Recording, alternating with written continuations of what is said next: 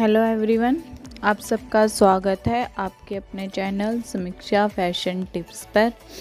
आज हम आपके लिए latest all over printed suit के डिज़ाइन लेके आए हैं। बहुत सुंदर और लेटेस्ट डिज़ाइन है। प्रिंटेड सूट ऐसा डिज़ाइन है जो हर टाइम काफ़ी ट्रेंड में ही रहता है। चाहे समर हो या विंटर हो या कोई भी सीज़न हो। प्रिंटेड सूट हमेशा ट्रेंड में ही रहते हैं।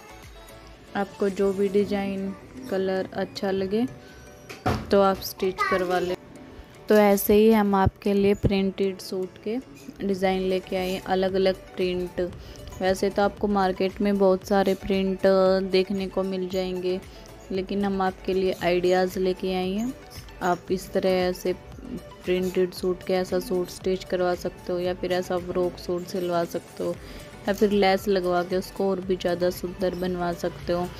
आप चाहो तो दुपट्टा, कंट्रास्ट में ले सकते हो या फिर सूट का पूरा ऑल ओवर जो सूट के मैच का दुपट्टा होता है, वो वियर कर सकते हो या फिर ऐसे सूट का कंट्रास्ट बनवा सकते हो।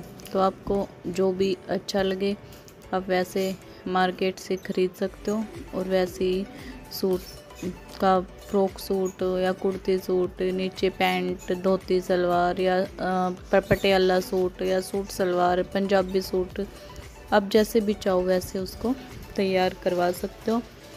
वीडियो स्किप मत करना, वरना आप ऐसे कोई डिज़ाइन मिस कर दोगे प्रिंट का।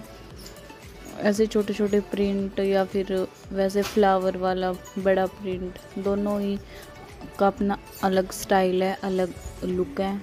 दोनों अलग वे में बहुत आप अपने लुक को काफ़ी इंगेज करते हैं।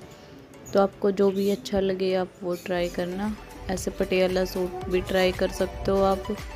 ऐसे सूट को लेस लगवा के भी उसको रेडी करवा सकते हो। फ्रॉक सूट आजकल जो है वो काफ़ी ट्रेंड में थे तो आप चाहो तो ऐसे फ्रॉक सूट भी तैयार करवा सकते हो। अगर आपको वीडियो अच्छी लगे तो आप अपने दोस्तों के साथ शेयर करना और हमें कमेंट करके ज़रूर बताना कि आपको कौन सा सूट या प्रिंट जो है अच्छा लगा। आप हमें ये भी बता सकते हो कि आपको जो अगले किस टॉपिक पर वीडियो चाहिए या किस चीज़ से रिलेटेड आपको जानना है।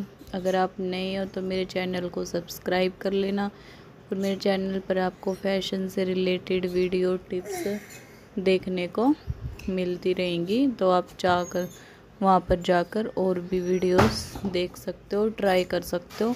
आपको जो भी फ़ैशन से रिलेटेड वीडियोस या टिप्स जो भी जानना है, सूट से related, hairstyle, makeup, all over आपको जो भी देखना है आप, वहाँ जाकर ट्राई कर सकते हो।